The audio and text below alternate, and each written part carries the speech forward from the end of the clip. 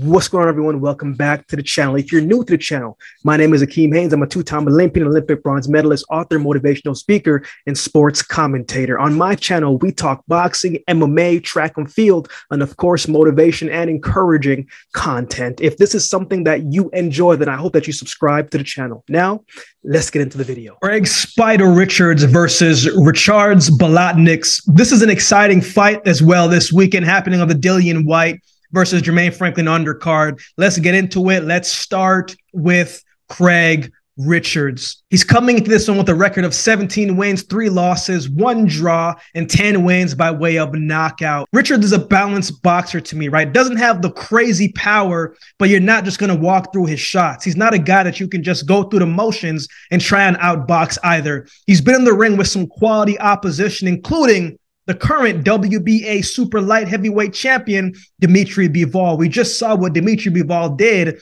against Zurdo Ramirez not too long ago, right? So he had some very good moments in that fight, and I think surprised a lot of people Richards with his performance. A, but Richards is a fight. very good technical boxer, uses the jab to set up his shots, and also uses the jab to keep his opponents at bay uses his feints well, and he's got long arms, so he can find openings at a distance from different angles. Even in his recent fight against Joshua Buatsi, he landed some awkward shots, right? Some nice uppercuts from a distance and some hooks from a distance that got through as well. Against Buatsi, I mean, that was an exciting fight, and both men gave their all and left everything inside the ring. It was a close fight, even though it was a unanimous decision for Joshua Buatsi. It was a close fight. Some of those rounds could have been swing round. Now, in that fight, one of the consistent shots that Craig Richards had a lot of success with, right, was the jab, jab, followed by the right hand straight down the middle. He had a lot of success.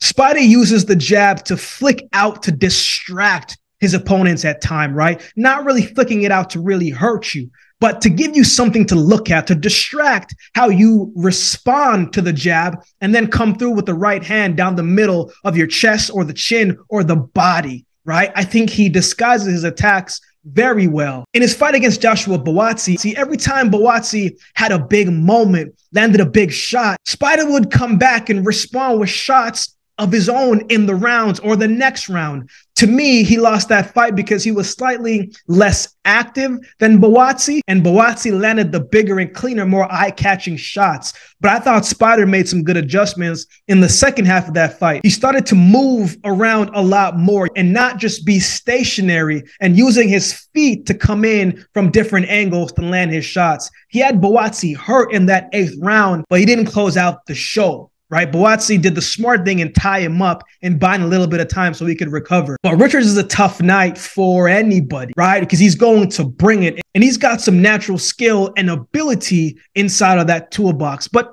I get the sense that he doesn't really get a lot of support from the British fans. I wonder why that is. For all my British supporters that follow the channel, I would love to hear your thoughts against Buatsi. It kind of seemed like it was one-sided for Buatsi from the fans' perspective, right? But I would love to know what do you guys think about Craig Richard. But I like Spider, right? I'm looking forward to seeing him in the ring this weekend and see what he brings to the ring. Now let's talk about his opponents. Ricards Bolotniks. He's coming to this one with a record of 19 wins, six losses, one draw and eight wins by way of knockout. Bolotniks is a tough fighter. He's got good size, he's durable, he's got some skills, and he does some good things inside the ring. But I'm not going to sugarcoat this one. Craig Richards is the all around better boxer, in my opinion, anyway. Bolotniks is going to make him fight, though, right? He's not someone to take lightly. When Bolotniks fight Buatsi, he caught Buatsi with some good counter punches and some big straight hands. He was doing well in the fight, and he almost lasted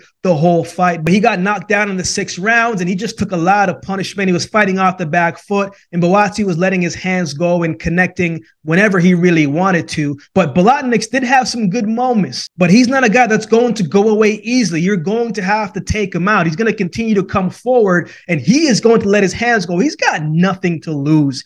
And sometimes when you fight someone that has nothing to lose, they're in a great position because they can fight with taking risks, right? They can fight with kind of that free will to do whatever they need to get it done. Whereas Craig Richards, I think he has to come in and he has to have a statement win and he has to win convincingly in my opinion, in this fight. But he can give Craig some problems. But he'll need to take some pages from Joshua Buatsi's book when they fought and try and close the gap early and not allow Spider to use his reach. And he has to stick to him from inside the pocket and hit what you can see. He's got to make it into a brawl. If he can suck Richards into fighting his fight where Richards is just coming in and he's just swinging and trying to knock him out, he'll have the best shot because he might be able to land a counter shot that could connect right on Craig Richards' chin and it could be lights. So who wins? I'm taking Craig Spider Richards to win. Now, I think Spider can outbox Bolotniks easily, no problem, but I think he needs to get a stoppage. And he can get the stoppage if he lets his hands go early. Sometimes Richards can give his opponent too much respect and holds back his hands, right? But I don't want to see that personally. I want to see him get the stoppage. I want to see him in there and get a statement win. And I also think too, if if the South African Mchunu, right, can get a stoppage against Bolotniks, I believe Craig Richards can do the same thing. So I'm going to lean on Craig Richards winning by stoppage in this one. What are your thoughts on this fight? Who do you have winning this one? Let me know in the comment section below.